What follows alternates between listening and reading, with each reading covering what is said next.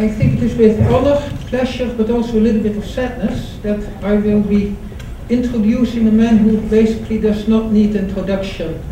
Um, I would say honor because of Shaobing's excellent scientific achievements here at IRRI, um, pleasure because he's a good friend, and the sadness part, of course, because this is an exit seminar.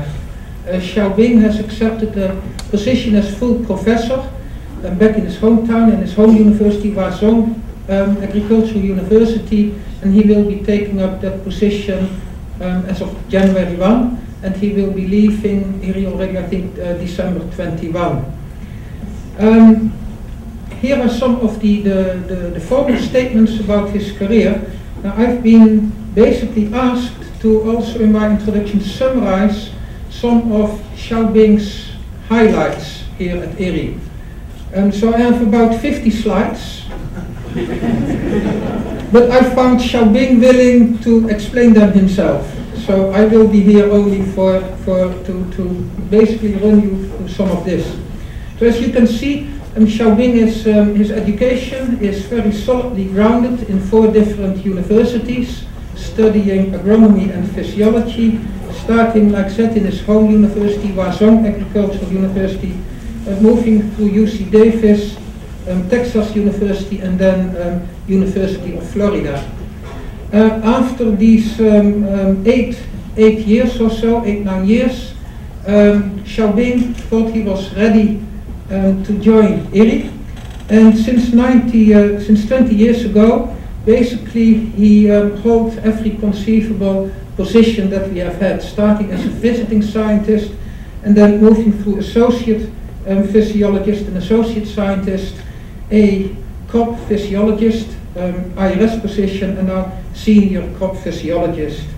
Um, and I think if Shaobing would have stayed uh, more than these 20 years, he would surely move up to that um, principal scientist that is reserved for, for, the, for the best of the best. Um, career highlights, um, there was only a little bit space left, so the organizers decided to, to focus on a few. Um, I think that um, probably one of his sig most significant achievements is not even there, and it is that after working 20 years at IRRI, um, Shaobing still looks young and very dynamic. And I don't know how he does it, but I do hope that he can impart some of his tricks um, to the rest of us who still have many years ahead, hopefully here at IRRI. But um, Shaobing has backed two CGIAR awards, one of the uh, promising young scientist, and the other one, um, just a few years ago, he signed the award for the outstanding scientific paper. And if I'm not mistaken, that was the paper that um, described the effect of high night temperature on reduced yield. And I'm sure that Shaobing will touch upon that uh, in his seminar. Um, he's a fellow of the American Society of Agronomy and the Crop Science uh, Society of America, and he serves in the editorial board of um, few renowned journals. And last week, Shaobing explained everything about the impact factors of these journals and how you could um, manipulate them uh, to some extent. And you can see he must be a master in doing so. So um, I won't say uh, much more. Um, there are about 87 slides ahead. We have 45, 50 minutes of doing so, and I'm fully confident that Shaobing will keep us um, fully entertained in the uh, time ahead. Thank you very much, and.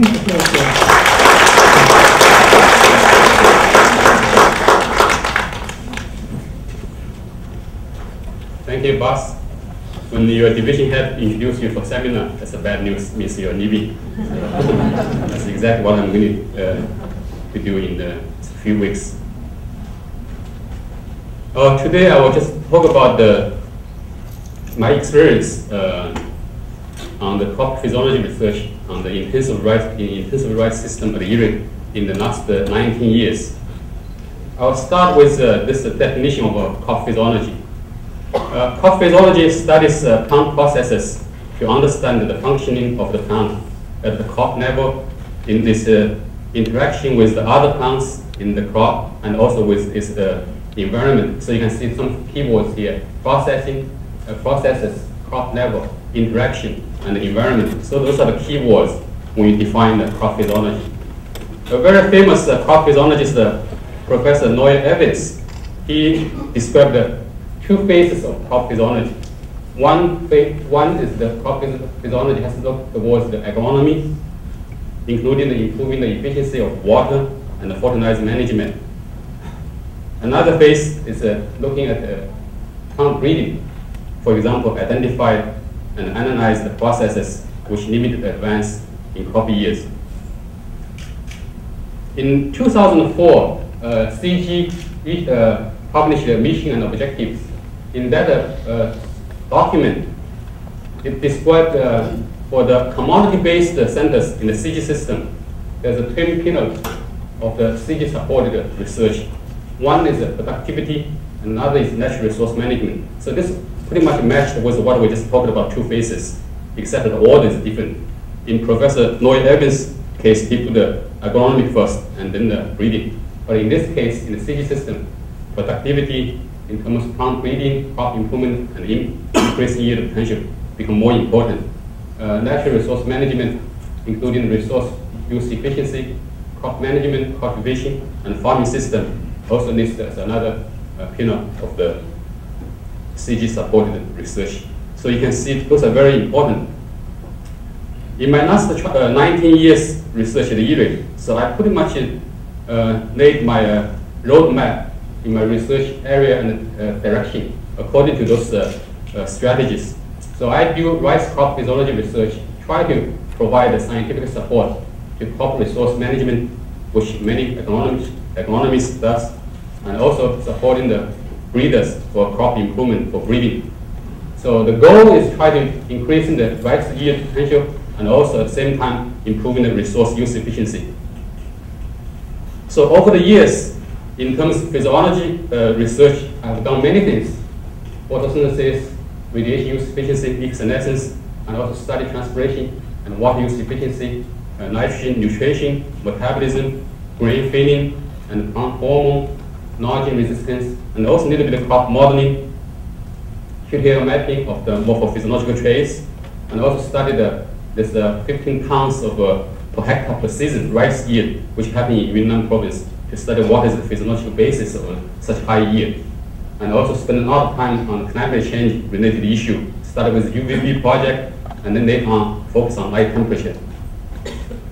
For crop resource management study, I developed this real-time uh, nitrogen management and also worked on site-specific nutrient management with other IRRI scientists and uh, studied a little bit on the heat, uh, and uh, with the strategy of healthy canopy management.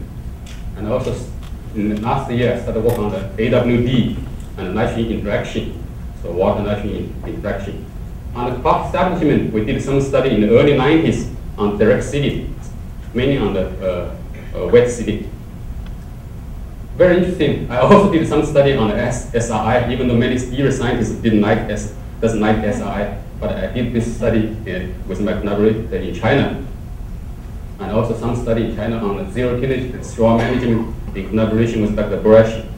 And a very interesting study we did, a small study, but it's very interesting on golden snail control by using the different age of seedling and seedling numbers per year. And we can control the golden snail, golden snail effectively. So all those have been published. On the crop improvement side, I worked on a new plant type, the ideotype approach, try to improve the yield potential. Also working with our hybrid rice breeders on hybrid rice, study the physiological mechanism of the heterosis.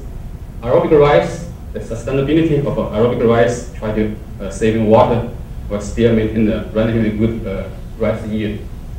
Study the grain yield of historical IRRI cultivars, and to see what what those uh, what is the trend of those yield potential for those uh, historical IRRI cultivars.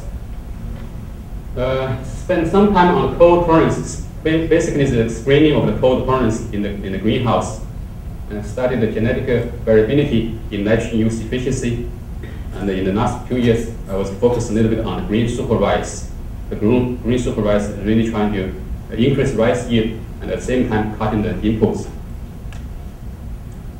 but I'm not going to have time to cover all of this. So what I decided, I'm just just pick up five uh, cases which I think uh, can highlight uh, my research at the IRRI, which I believe had a little bit more impact and also it's scientifically and uh, both scientifically and practically.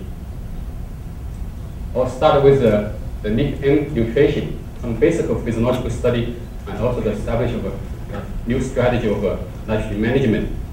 And I'll move on to the light temperature study. And uh, the third one is the decline of IR8 and the, the possible causes.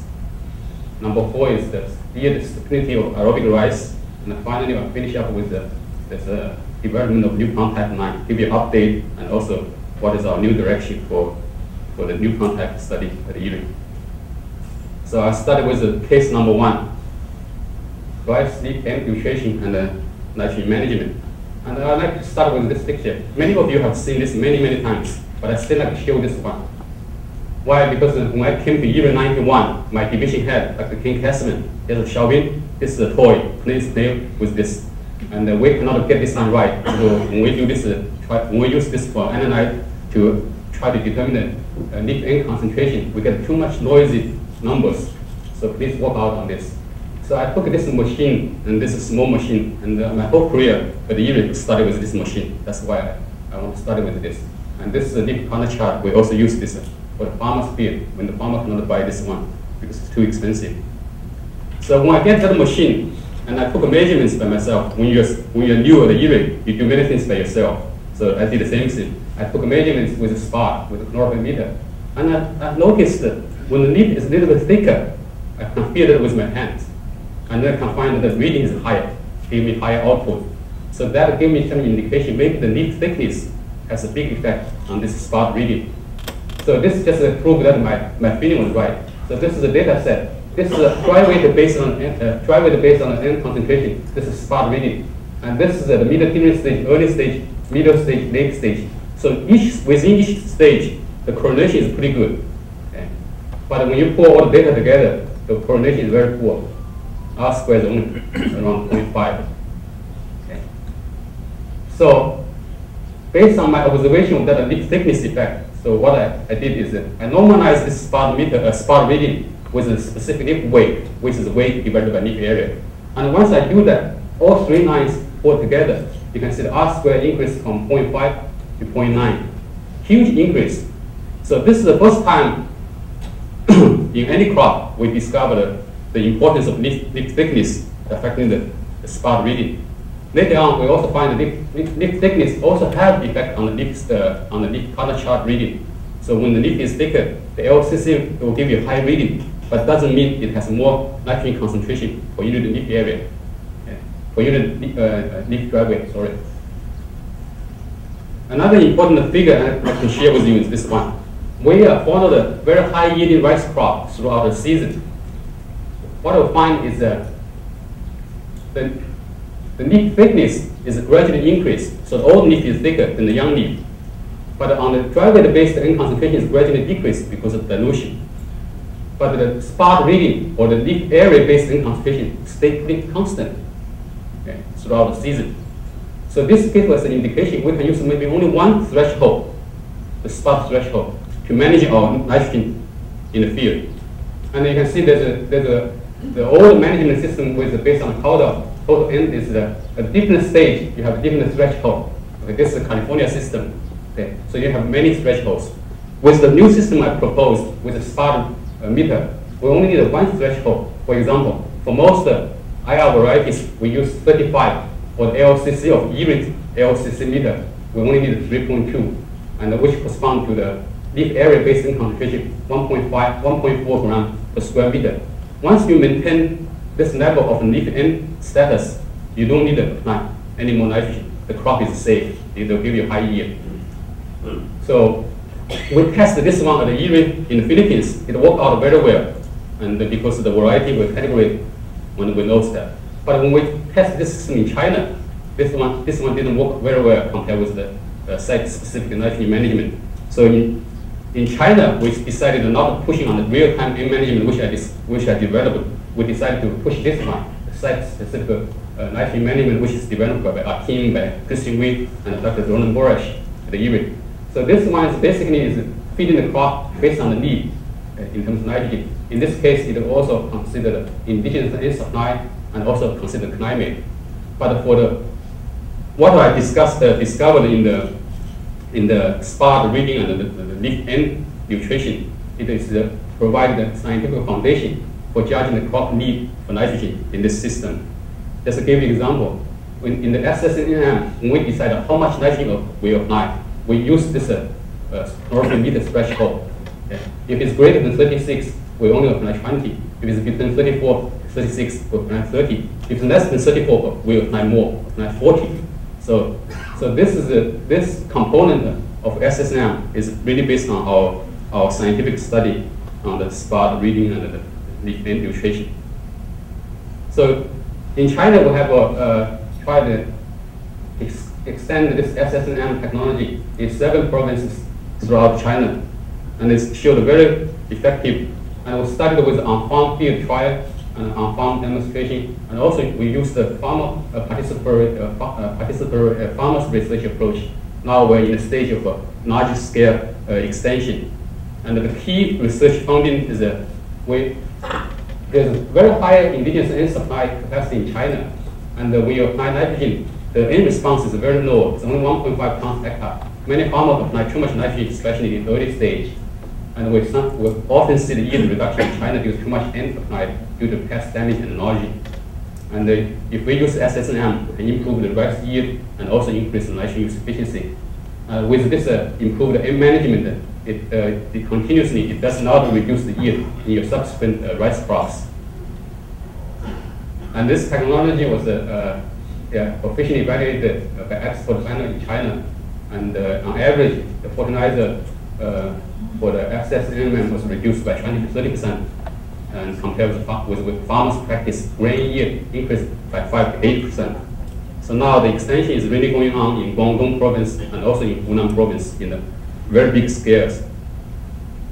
Now move to the sec uh, second case on the high night temperature study.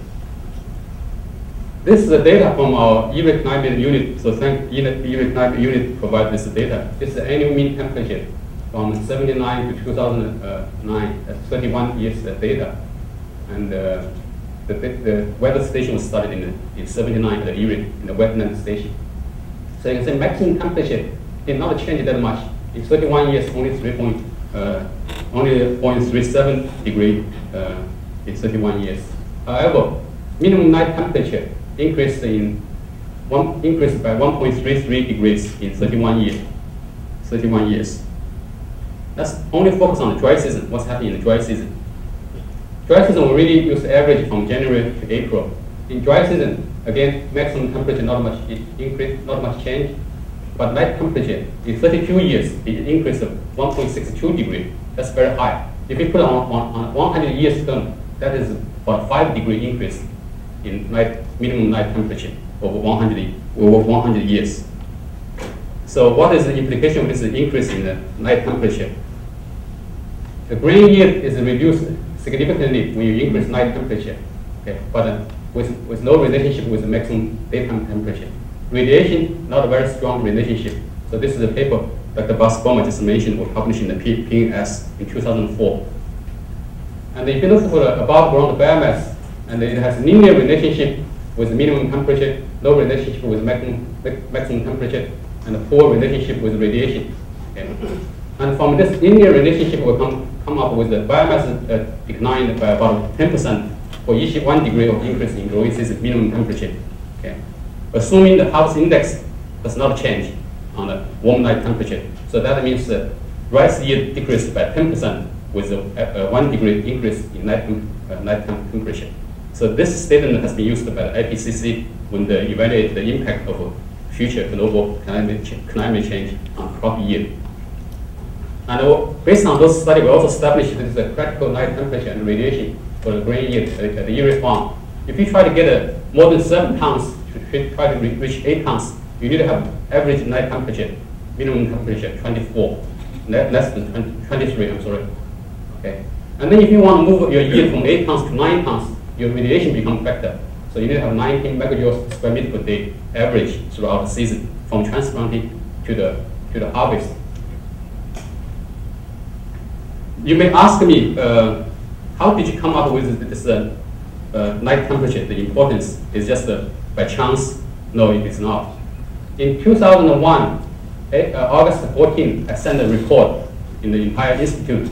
I reported this yield decline in the last three seasons at IRRI Farm, which is 99, 2000, 2001. And you can see this IR72 yield is reached historical lower. And also this is the best entry, also lower than many others. So this is the year, this is the green year. And I analyzed the data of the, uh, from weather station. Of course, these three years have, have a lower radiation, but more importantly, it has a very high minimum night temperature. Okay. So from this, it gave me an indication the night temperature could have, could, have something to do with this yield decline. So in my memo to the whole institute, I mentioned many times about this night temperature should deserve more attention. That's the whole reason come up with this, this 2004 uh, paper in the PNAS discussed the, uh, described the importance of night temperature. So it, this is not come from nowhere. It's really um, intrigued by the, the poor year, year in 99, uh, 2000, 2001.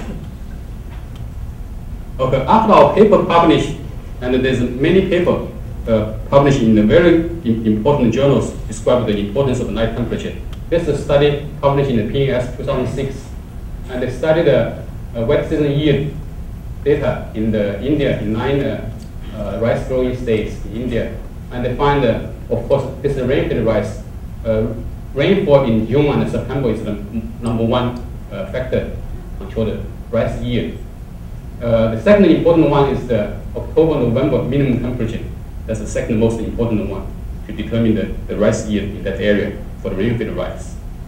And this is another study recently came from India, and this used a weekly transplanting between June and August, and they find that this uh, 32 minimum temperature of 32 is critical. If it's greater than 32, you get a yield reduction. If it's less than 32, you also get a yield reduction. So this critical number of 22 is pretty much the same to what we find at the IRRI. So ours is about 22, 23. And there's another uh, study just uh, came out this year, uh, used the IRRI's data set. This data set is based on the 227 farmers managed field from six rice growing countries. Actually, this data was this was done by uh, Achim Dobermann and uh, Witt many years ago. And they took this data set and did some analysis. They find that the minimum, so this is uh, light temperature, has the hugest, biggest effect on the rice yield, especially in the ripening phase, compared with the maximum temperature, compared with radiation. So this also supports what we reported in 2004. More interestingly is the, in Mexico, they use the similar data on a, on a wheat year. It's also a historical data set in two sites. They find the delta T uh, minimum temperature is the most important one, explain the yield variability compared with the maximum temperature and also radiation. So night temperature is more important. Uh, very funny, they come up with the same statement. Roughly 10% yield reduction for every one degree increase in minimum temperature. So completely different crop, different location, came up with almost same results. So we continued our night temperature study by building this field chamber at, uh, at the IRRI farm and try to, so this is daytime and we open the, the, the chamber, nighttime we cover this uh, and with aircon, manipulate the temperature inside. So based on this chamber study, we were able to uh, find the IR8 is more sensitive to the higher night temperature compared with IR72. You can see the yield reduction with the high temperature uh, is only 7% for IR72, 35% for IR8.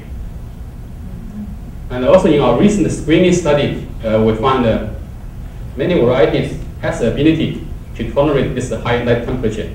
And of course, many varieties are very sensitive. The sensitive variety, they reduce the yield because they have reduced the sink size and also reduced the grain filling percentage on the warm night temperature. And those are the tolerated one, for example, N22 is very, very interesting. N22 is a variety, is very famous for heat tolerance. So they have a, they maintain a good uh, grain filling on the very high daytime temperature. So we also added another uh, uh, property for this one. So it also has the ability to tolerate the night temperature. And the BRRI dhan 29 is a, is a variety which also reported has very good resistance to the many abiotic stresses. Now we move to the, uh, the third study, the third cases. Uh, the third case is talk about the yield decline of IR8 and the possible causes. This is a figure, also quite famous at the Many people use this, especially by breeders. And this shows the, Uh, the yield trend of IRRI historical varieties. Those are varieties which has a big impact in rice production in the world, such as the IR8, IR36, IR64. And you can see this is year of release and this green year. So, so the, the new variety has much higher yield than older variety when you grow, when you grow them on the current condition. Yeah. So physiologists and breeder, when they interpret this data, they have different uh, answer. For, for we will see, oh, yield potential has not changed uh, since uh, uh, the release of IR8 because it's still maintained at 8 tons, uh, 10 tons per hectare. Breeder will see we're making great good progress in, the, in increasing yield because the yield is uh, uh, gradually increasing. Both are right. Both interpretations are right. And if I compare the IR8, which was uh, this nitrogen response curve of IR8, which was done in 1968, compared with the one I did in 1998, the 30 years difference, and you can see that the response is totally different across the entire range of nitrogen input. Okay. So zero N, the yield difference, especially when, when the uh, 120 kg per hectare, this uh, but, uh, 1968, they produce nearly 10 tons but if you do that now, it only give you a seven tons. Yeah. So that just indicating that IR8 is just not doing the, the same job as uh, it does it did uh, 30 years ago. So we compared IR8 with the best varieties uh, in 1996, 99 uh, dry seasons. You can see the IR8 yield is always lower than the, than the best varieties, except this year. As I said, 99 was a very poor year. Yield potential is only very poor, so we didn't see much difference. So then we try to ask uh, what, what happened with the IR8? Why IR8 uh, cannot produce the same yield as uh, 30 years ago? So I came up with a very good idea in 1998. I thanked for US uh, GRC to provide this uh, IR8 seed, which was harvested in 1968. Okay. And they stored it in genebank. They only stored 20 grams. They were able to spare uh, 10 grams for me. Then I multiplied this IR8, and then I get enough seed so I can compare uh, this uh, genebank stored IR8 with the continuous grown IR8. And this is a field study I did. So this is genebank grown IR8, uh, genebank uh, stored IR8, this is continuous grown IR8. You can see vegetative stage, no difference. Uh, PI stage, no difference. Harvest stage, no difference. The nitrogen response curve is dead even. Okay. So in terms of performance, field performance, there's two uh, different uh, IR8 seed sources give me a, a two identical, uh, give me identical results. So this is all the data. We compared for four seasons between the, two IR8 with the best variety. 2000, 2001, uh, four years, so we don't worry about this data. There's no difference because the yield potential is very poor. So 2002, 2003, uh, two good years. So you can see the best variety produce much higher yield than IR8. More importantly, 2IR8 did not show any difference. Uh, with the with the uh, help from Hayes lab, we did some SSR analysis about uh, on this two uh, IR8 seed source. SSI, SSR detected a variation in about 12% of IR8 uh, continuous grown IR8 seedlings, but not in the IR8 uh, uh, genebank stored IR8 seed. Okay. So we grown this uh, after the SSR test. We grown those plants all the way to maturity in the greenhouse, and this is genebank grown IR8 this is a uh, this is two are continuous grown IR8. This with the SSR variation. This without SSR variation. And uh, with your eyes, you don't see any difference, even though there's a SSR uh, variability. They're identical. We measured photosynthesis for these three seed sources, and the photosynthetic rate in the different stage, they're dead even. And we also see no difference in plant height, panicle size, grain filling percentage, seed weight, photo dry weight, harvest index, and grain yield. So morphologically, we see those IR8 from two different seed sources, they're identical. So that pretty, give, pretty much gives us an answer, what is the, the cause of the, the, the yield decline for IR8. So there's only three possible reasons. One is the biotic stresses, the change in biotype of disease and then uh, and the insects. So IR8 cannot tolerate those new, new biotypes. So that's one possibility. But we, in our experiment, we, we control our disease and insects very intensively. So at least we don't see visual, uh, visual damage. The second poss uh, the another possibility is genetic change in the seed itself. And based on study just conducted, we rule out this possibility. So that only leaves the second option, the second possibility, which is uh, uh, stresses, for example, uh, changes in climate such as night temperature and also changes in the soil quality. And for this study, we cannot, uh, cannot pinpoint which one it is, but we know it's abiotic stresses. So what is the impl implication of this uh, study? It emphasizes the importance of maintenance breeding, even though our continuous breeding has not increased yield potential, but it was able to maintain the yield of 10 tons per hectare yield level. Secondly, uh, when we talk about maintenance breeding, normally we talk about biotic stresses, disease, and insects. But this study also indicated abiotic stresses can be also important and for the maintenance breeding. And uh, this study also suggests that climate change may erode the genetic gain in crop improvement. So the breeder should continue to do breeding to almost like a, a race uh, with the climate change to be able to maintain the rice yield. Finally, and uh, many breeders will see, oh, when the seed, when the new variety come out for five or six years, then the seed will deteriorate. This variety was not good anymore. Then you have to, you have to go with a new variety. So this variety deterioration, even though people have this perception, but we're the first, in the first time we, we prove that's not possible, does not exist scientifically using this method. Now move to the aerobic rice. In 2001, we established a, a, a medium-term uh, experiment on aerobic rice. This was done in the Challenge project. Project, the name, the name of the project called STAR project, within the Challenge program. And Dr. Bas Bouman is the is the, the PI of this project. So I had a very good experience uh, in working with him in this project.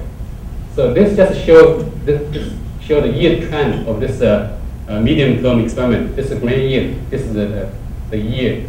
This is dry season. This is wet season. And you can see the, the, the red one is the grain yield of the aerobic rice. You can see gradually decreasing.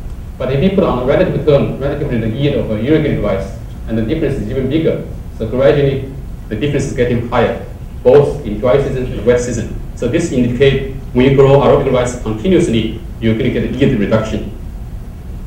And you can see this yield reduction mainly because the biomass uh, uh, production is reduced on the continuous uh, aerobic rice. And this is 2001 dry season, aerobic nitrogen rice, not much difference in, in the biomass accumulation.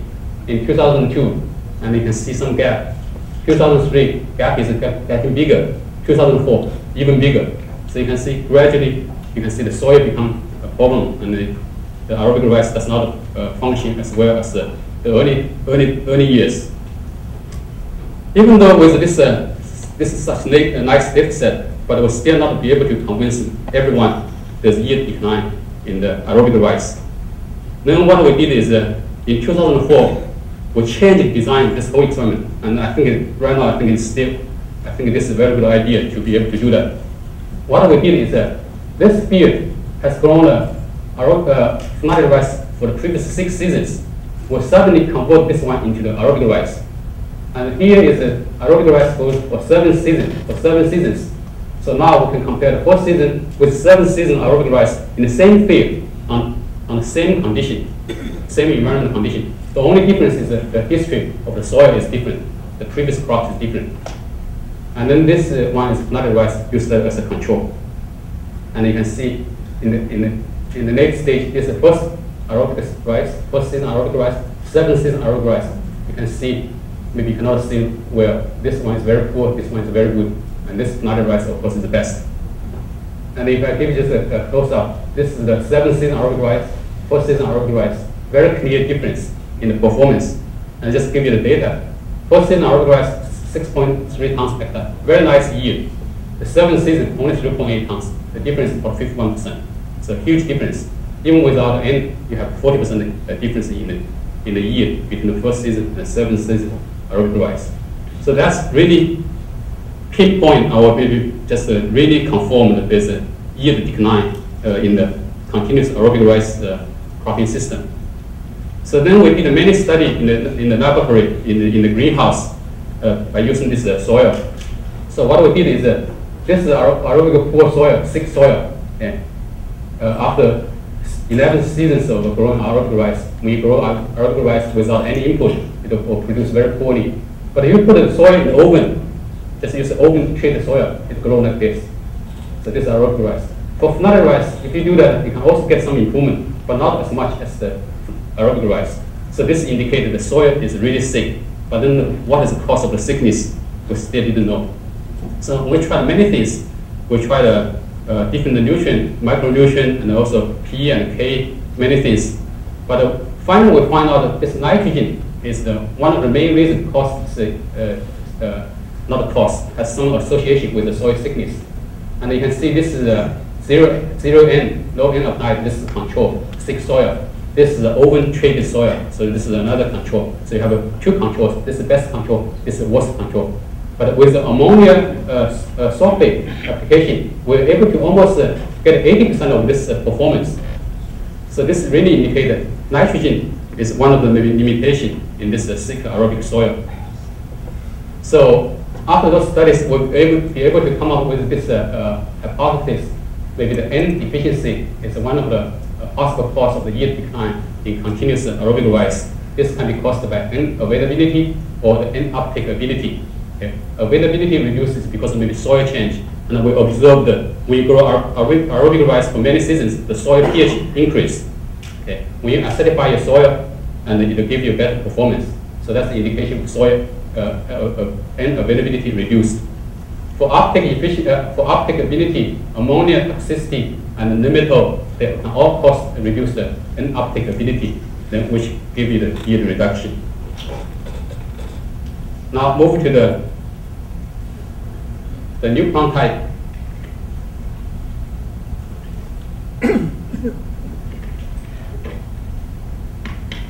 I had a, uh, I had a privilege to work with Dr. Khush on the development of new plant type in the early 90s. And uh, in one of my review papers, I have summarized the, the good feature or bad feature of the NPT9s. Uh, the good one is increase sink size, improve the nitrogen resistance, and also reduce the unproductive tiller but on, the, on, the, on the negative side, it has poor grain filling, uh, reduced biomass stacking, and uh, poor compensation ability, susceptible to disease and insect, and also difficult to thresh, and has poor germination and poor uh, grain quality. So those are the uh, analysis on the new contact. But despite those negative uh, aspects, the NPT still has uh, still made some impact one is a, a few NPT9 has been released in Indonesia, China, and the Philippines.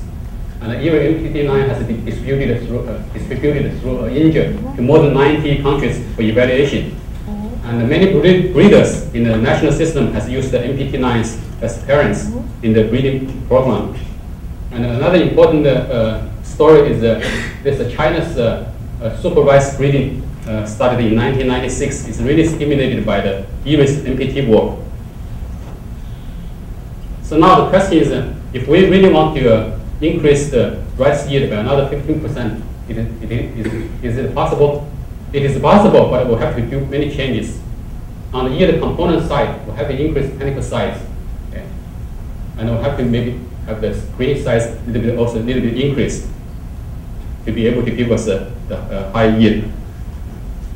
In terms of process, the yield process of yield formation, and there's another way to calculate the yield increase.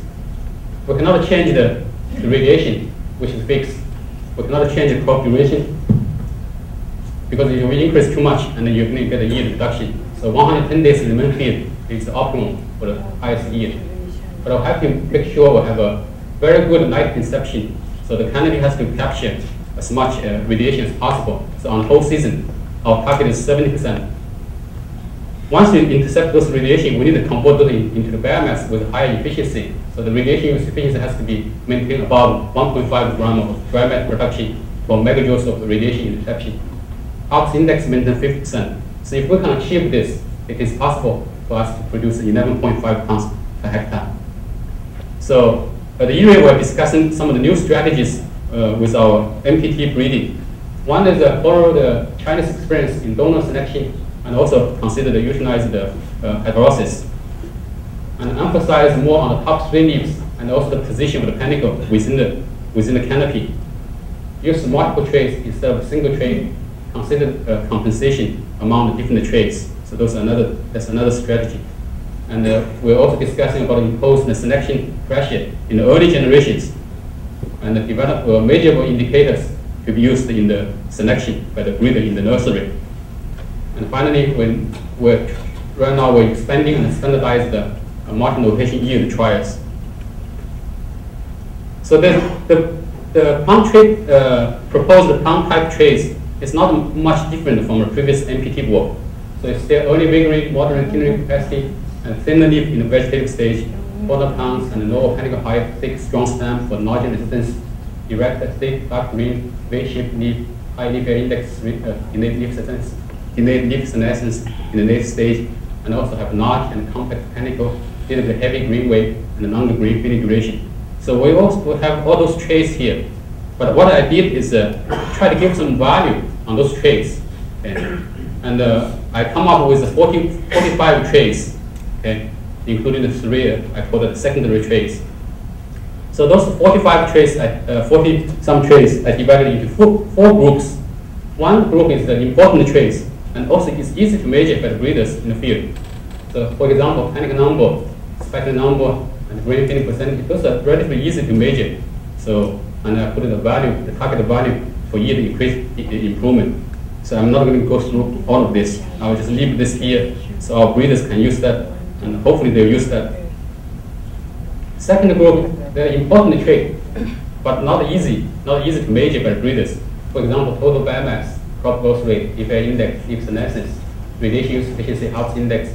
So those are very nice uh, traits for the physiologist, but it's very difficult for, for, for breeders to measure. They're very important. If you want to increase rice yield, you have to focus on them. And the, the third group not very important, but it's easy to measure. For example, leaf number, leaf length, leaf weight, and the shape, and the erectness, panicle length, and the number of uh, primary branches and the secondary branches. So those are very easy to measure, but they're not very important compared with previous, compared with the previous two groups. The, the fourth, fourth group, not very important and also not easy to measure. Leaf thickness, maximum number, percentage, and the spikelet number for panicle length, this is the compactness, com compactness of the panicle, high density, high so many. So I also have all the values here. And those, all those values are based on my study at the IRRI for the, in the past 19 years, and also based on the literature. So those are three secondary plant traits. So I just put the numbers here so the breeders can use in the future. So there's also some lessons for the super rice uh, varieties that come from China. So when we do our new contact breeding, we should also remember those lessons. One is the, the new the super rice may have a poor nitrogen use efficiency, okay? and they also has reduced the early vigor because of the tiller production is reduced, and a poor compensation uh, for disease and the insect damage, and also it requires uh, very very intensive crop management, also needed high input. So all those has to be uh, taken into consideration in our NPT breeding. Also, there's some many scientific uh, issues we talk about the increased rice yield potential. One is how much room we really have left in the plant type uh, improvement for achieving a higher yield potential. And uh, if you delay leaf senescence and extend the grain filling duration, you, can you really increase the rice yield potential? Source sinker relation, which one is more important? And uh, can we improve the rice yield uh, by improving the radiation efficiency through the higher photosynthetic rate, such as C4 rice.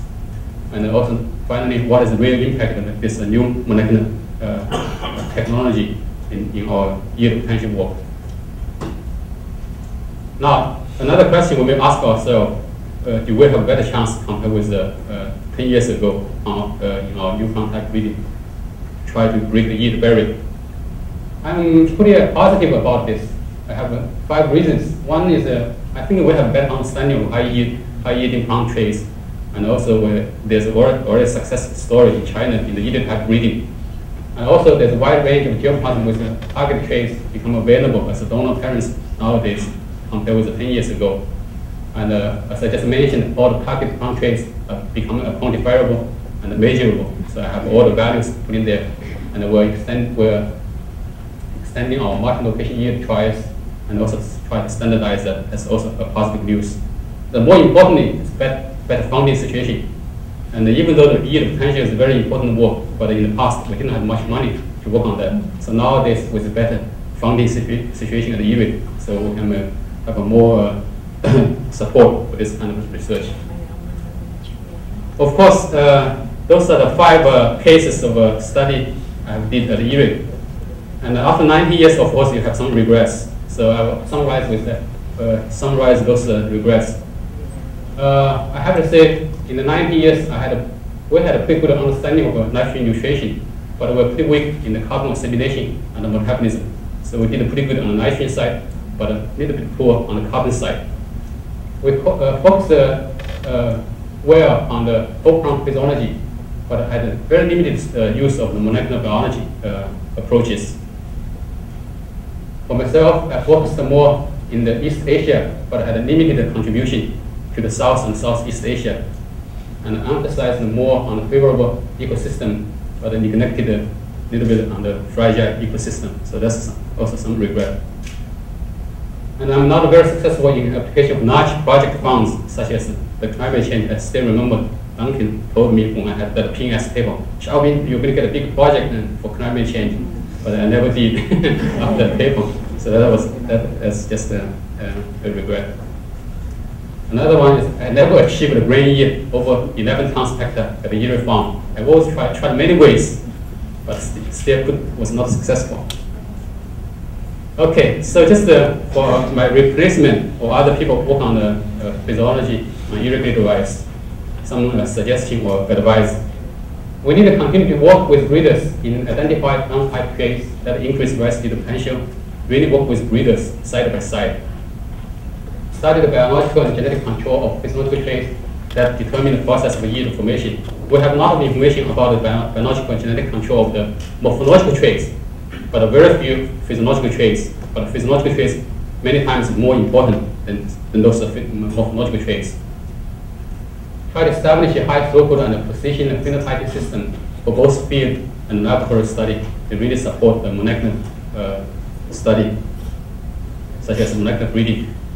Understand the mechanism of varietal adaptation to climate change, and this becomes more and more important. The varietal adaptation and maintenance breeding is really crucial if we want to meet uh, the challenge of climate change.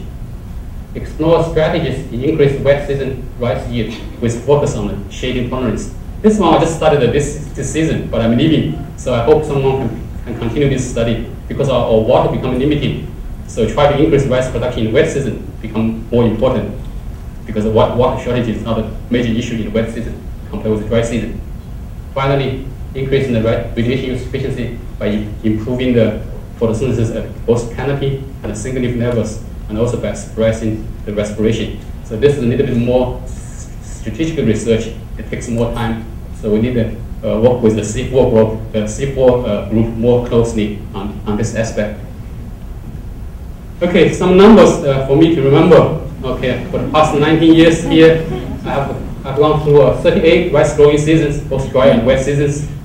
Uh, every season we do many experiments so in the Philippines, I've done 169 field experiments. And I've spent almost 7,000 days uh, with IRRI.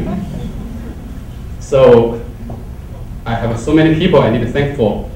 I start with the, the top. So I have gone survived. I survived the three, uh, five DGs. Okay. so Dr. Lampe, Dr. Rothschild, Dr. Fabiner, Dr. Cantrell, Dr. Zeigler, DDGR, uh, Fisher, Dr. Hossain, Dr. Ren Wang, Dr. Tong, Dr. Achim Dobermann, and then my division head, because for me, I'm working the bottom, so division head is more important for me than those boys. so started with Dr. Tessman, and uh, Dr. Jim here, Dr. Ito, Dr. Tong, and Dr. Bas Bouman. And I uh, really thank them because they really protected me very well, make sure I have enough resource to do research, make sure I'm not too back uh, to spend too much time with uh, administration. So big thanks for them. And uh, I have collaborated with many IRRI scientists over the years. Uh, as I said at the beginning, for physiology, I need a face in agronomy side and also in the breeder side. So in our own division, with Dr. Cassman, Dr. Buresh, Dr. Dobermann, Dr. Vergara, Dr. Bas Bouman, Dr. Esmer, Dr. Nada, Jiang Shi, Christian Witt. Okay, I may miss some more. Uh, on the breeder side, Dr. Khush, Dr. Virmani, Dr. Borg, Dr. Xie, and Dr. John Bennett on molecular physiology. Now, the most important part is my, my own group. So they are the one that really helped me a lot, and they made a huge contribution to uh, my achievement. So I started with Romy. Romy will retire next year. He will be working with IRRI 43 years by next year. So as uh, Dr. Randy Barker said yesterday, uh, Kyle Moya and uh, Romy Bispos, they really represented our Institute of Memory.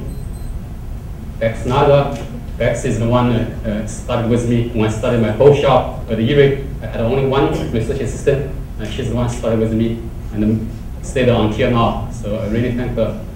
And Cinta is my third secretary. Another one I need to mention is the Alex. Alex is my field uh, technician. And uh, about 10 years ago, he wanted to join the stock separation. I begged him to stay because he's so important for our field experiment. And I also have a, many uh, former staff uh, staff member with my group, especially Emma, of my first secretary, and my second secretary, Owen. And unfortunately, I had a, a uh, staff member uh, passed away. Also, I'd like to take this uh, opportunity uh, to thank uh, uh, my family, my wife, and my, my two kids, and they are the one who make my life happy. And also, I'd like to thank many other uh, management, top management, like Dr. Bonato and Dr. Padanina. So they really uh, also helped me. Now, I'm going back to China, as a boss said, and this is my building, quite a big building. And uh, so this is called crop, crop, uh, crop science building. And uh, this is the crop physiology and the production center. This is my center. So I call it CPPC. In the future, when you see the, you will hear CPPC, and that's me. so with that, uh, thank you for your attention. I used a little more, too much time, 47 minutes.